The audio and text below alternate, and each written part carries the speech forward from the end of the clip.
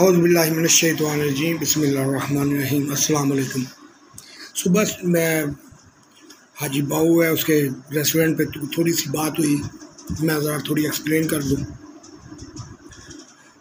जब अल्लाह ताला ने कहा कि मैं इंसान बनाने लगा हूँ, जब उसमें अपनी रूह फूक दूँ, सब सजदे में गिर पड़ना। मैं ये कहता हूँ कि अल्लाह ताला ने कहा था कि मुझे सजदा करना है। किसको कहा था सजदा करना? इंसान को कहा था। और ये सजदा क्या है? इज़्ज़त करनी है एक दूसरे की। इसका क्या मतलब है? कि इज़्ज़त करनी है हर इंसान बायस रहमत है बायस फजल है। हर इंसान बायस इज़्ज़त है। चाहे गोरा है, काला है, चाइनीज़ है, जापानीज़ है, इंडियन है, जो भी है। वो हज़रत इंसान है।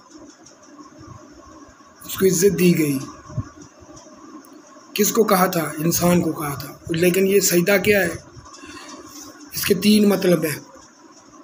अपने आप को खुदा मत समझना, नंबर एक। नंबर दो, किसी को खुदा समझ के ऐसे उसके आगे ज़रूरत के जो जो अमीर हो या जिससे ज़रूरत हो उसके आगे ऐसे झुकना जाना। ये सिर्फ़ झुकना, इज़्ज़त का झुकना है कि इज़्ज़त करनी है, बस। ये उसकी निशानी है, बस। इसका मतलब हमने पता ही क्या ले लिया?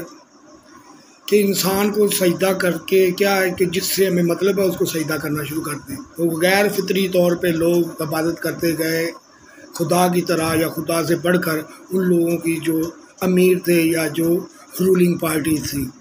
उन दोनों का ईमान फारग हो गया। अब दोनों को बचाना है इन बच जाएँगे। सईदे का मतलब ये है, अल्लाह के आपको सईदे की ज़रूरत नहीं है, आप लोगों को एक दूसरे की ज़रूरत है। ठीक है? इसके तीन मतलब है। ना झुक किसी से मतलब के आगे, आपका रिज्क, आपकी इज़्ज़त आपके हाथ में है। अल्लाह ने दी है। अब आप उसको जलील करके ले या इज़्ज़त से ले, ये आपके हाथ में है। ठीक है? कुछ लोग बिल्कुल झुक जाते हैं। खुदा की तरह सजदे में सजदा क्या होता है? कुछ भी नहीं। उनके लिए तो वो कत्ल उगारना शुरू कर देते हैं। फ़ायदा होता है उनका। ये होता है सजदा। इंसान को, शिरक जिसको बोलते हैं। अल्लाह हाफिज़।